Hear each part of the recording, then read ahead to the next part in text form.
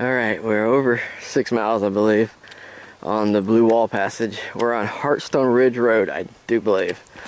And boy, we've been climbing. Uh, camera's not giving any justice, but quite a climb. This is the most plateau. Yeah, there's a little level spot here where you can see off to the side. We're no longer looking at the mountains, we're actually starting to go up them now. Shortly up here, we're actually going to cross the dam to Lake Lanier, the bridge.